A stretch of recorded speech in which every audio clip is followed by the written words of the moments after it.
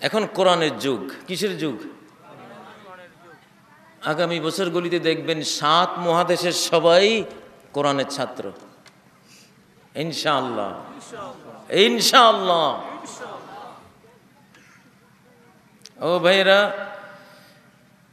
সুরা জাসিয়ার মধ্যে একখানা আয়াত আছে তেরো নম্বর আয়াত وسخر لكم ما في السماوات وما في الأرض আসমানে যা আছে সব তোমাদের জন্য বানিয়ে তোমাদের হাতের মুঠোয় নিয়ন্ত্রণে দিয়ে দিয়েছেন।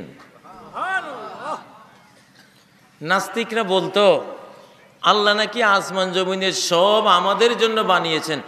এত দূরে, বহু দূরে, পঁচিশ হাজার আলোকবর্ষ মাইল দূরে, এক লক্ষ কোটি আলোকবর্ষ মাইল দূরে, এত দূরের জিনিস আমাদের কি লাভ? আকাশ আমাদের জন্য বানাইছে, কোরআন বলে। আকাশের এত উপরে জিনিস দিয়ে আমাদের কি লাভ? এখন গবেষণায় দেখা যাচ্ছে, বৃহস্পতি গ্রহ, বুধ গ্রহ, মঙ্গল গ্রহ, শনি গ্রহ, এইসব গ্রহের মধ্যে হাজার হাজার টন ডায়মন্ড আছে, হীরা আছে। আল্লাহ আকবর।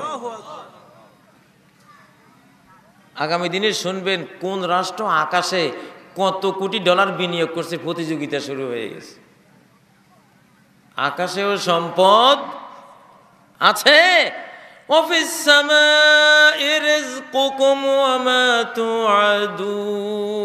তোমাদের রিজিক কোথায়?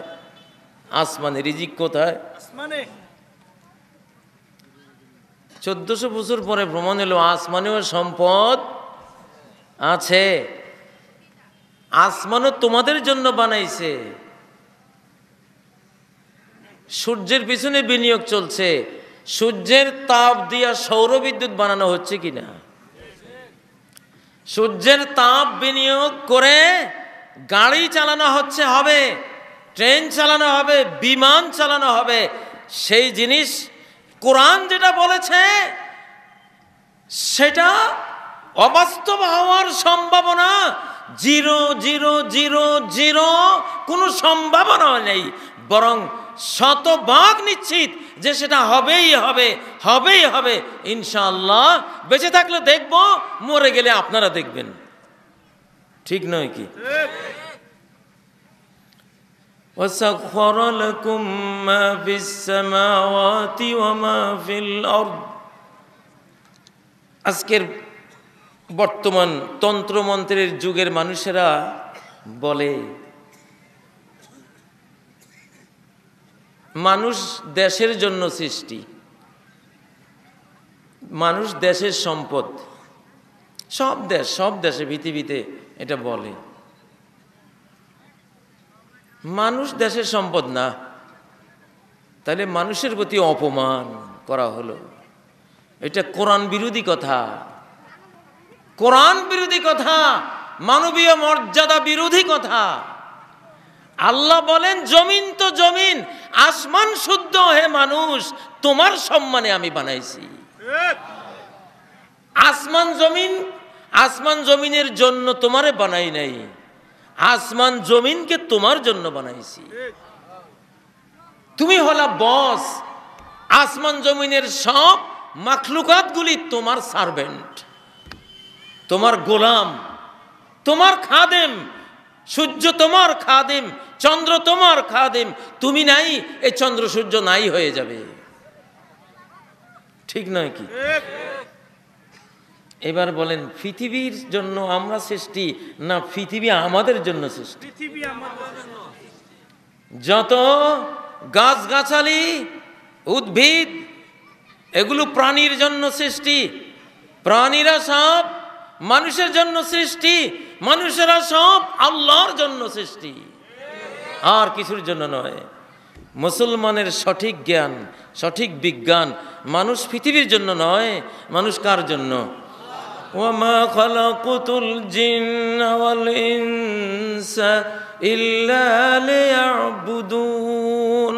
জিন আর মানুষ, আমি শুধু আমার, মারেফাত হাসিল করার জন্য আমার ইবাদত, বন্দিগি, দাসত্ব আনুগত্য করার জন্য, আমাকে জেনে, আমাকে মানবার জন্য, আমার সন্তুষ্টি অর্জন করার জন্য, আমার তাওহিদ পালনের জন্য, শুধুই আমাকে চাইবে, শুধু আমার জন্যই বাঁচবে, শুধু আমার জন্যই মরবে, শুধু আমার জন্যই সালাত পড়বে, আমার জন্যই কোরবানি, ইবাদত করবে এই জন্য বানিয়েছি।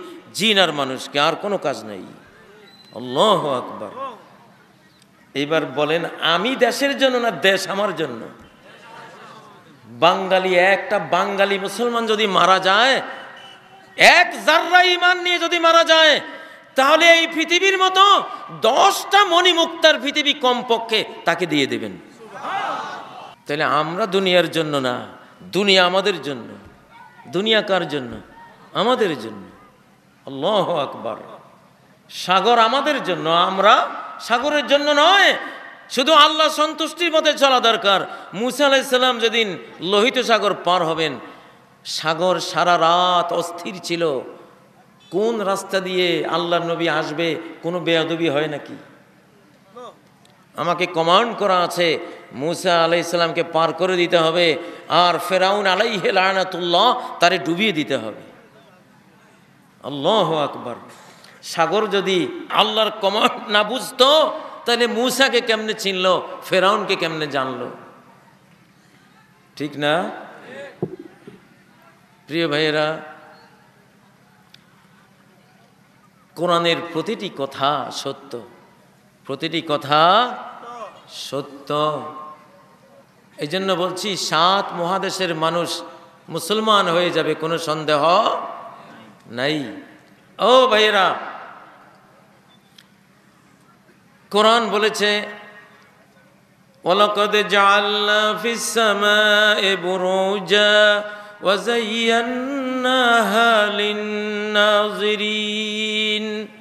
আকাশে আমি বড় বড় টাওয়ার বানিয়েছি, বিশাল বিশাল বিল্ডিং বানিয়েছি। পৃথিবীতে বুরুজ বলা হয়, একশো ষাট সত্তর তলা বিল্ডিং, বুর্জ। অমুক বুর্জ, অমুক ইংরেজিতে কয় টাওয়ার, আরবিতে কয় বুর্জ। বুর্জের বহু বচন, বুরুজ। আকাশে অনেক বিশাল বিশাল টাওয়ার আছে। তোমার টুইন টাওয়ার, তোমার এই মালয়েশিয়ান টাওয়ার, তোমার দুবাই টাওয়ার কোন ছাতার মাথা? টাওয়ার দেখতে চাও, আকাশের দিকে তাকাও। আল্লাহ আকবার। আকাশের এক একটা গ্যালাক্সিতে তিরিশ হাজার কোটির মতো টাওয়ার আছে। সূর্য একটা টাওয়ার তেরো লক্ষ পৃথিবীর সমান সূর্য নামক টাওয়ারটা কত লক্ষ পৃথিবীর সমান তেরো লক্ষ পৃথিবীর সমান আর তোমার দুনিয়াতে যদি একশো চল্লিশ তলা বানাও সূর্যের তুলনায় একটা দুলিকোনা হ্যাঁ وزيناها للناظرين আকাশের দিকে যারা নজর দিতে পারে, এমন ক্ষমতা আছে, যন্ত্রপাতি আছে, টেলিস্কোপ আছে, আকাশের দিকে তাকালে দেখবে কত রং বেরঙ্গের নক্ষত্র দিয়ে গোটা আকাশকে রঙিন করে আল্লাহ রব্বুল আলমিন সাজিয়ে রেখেছেন। সুবহান আল্লাহ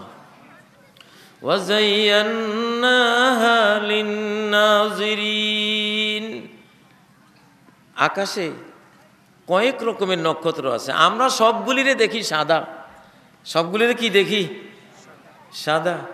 আল্লাহ বলে লিন নাজরিন যারা নজর দিতে পারে, নজর দেওয়ার মতো ক্যাপাসিটি যাদের আছে, যন্ত্র টেলিস্কোপ যাদের আছে, এরা দেখবে একরকম না।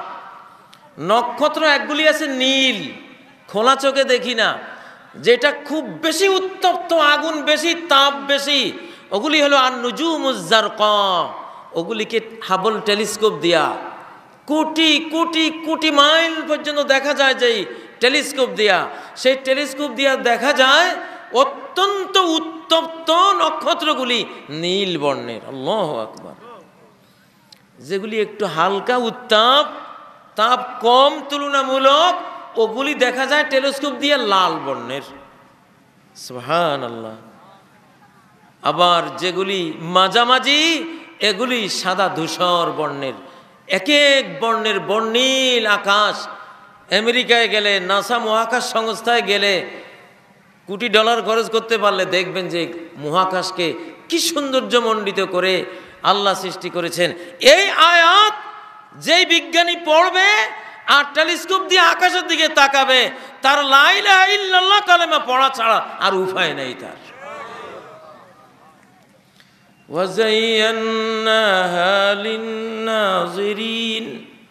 এটা আল্লাহর কোরআন।